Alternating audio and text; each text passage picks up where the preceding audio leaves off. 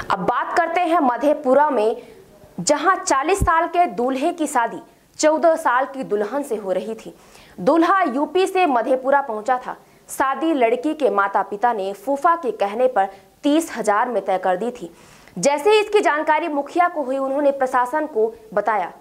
इसके बाद पहुँचे अधिकारियों ने शादी रोका और दूल्हा सहित पाँच लोगों को गिरफ़्तार किया।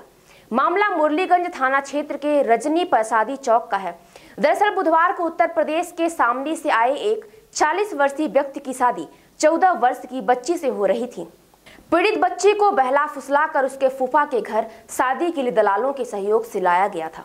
यहाँ उसकी शादी की पूरी तैयारी हो चुकी थी, लेकिन बेमेल जोड़े को देखकर लोगों ने इसकी सूचना मुखिया को दे दी।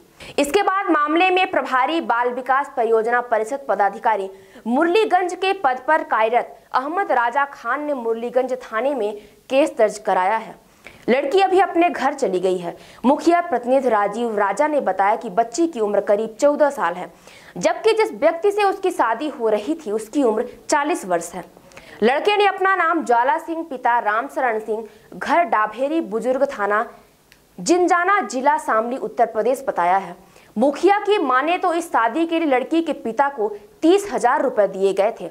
वहीं लड़की के भाई ने बताया कि उसकी बहन की शादी उसे बिना बताए की जा रही थी। इस मामले में पुलिस ने ज्वाला सिंह समेत बिहारीगंज थाना क्षेत्र के कठोतिया वार्ड दो निवासी मोहम्मद गफ्फार, जुलेखा खातून, मोहम्मद जुबेर तथा कठोतिया वार्ड एक निवासी जयकृष्ण दास एवं पूर्णिया जिला के जानकीनगर थाना क्षेत्र इस्लामपुर वार्ड 16 निवासी मोहम्मद जावेद को भी गिरफ़्तार किया है।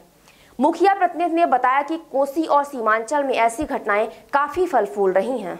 शामली पड़ता है जी यूपी। यहाँ कैसे पहुँचे तुम? यहाँ लड़का था जी हमारे गाँव को ले गया था जी मेरे को। काहे के लिए? शादी के लिए। शादी के लिए। माँ बाप ब्याह करवाने के लिए हमसे पूछा तक मिले। बहन का शादी कराने के लिए जा रहे तो तुम्हारी बहन है? जी सर। ब्रोकर चलता है वो में दलाल शादी कराने का। तीस हज़ार में चालीस हज़ार में पचास हज़ार में। लड़की वाले को प्रलोभन देगा। ये पूरा ज़िले में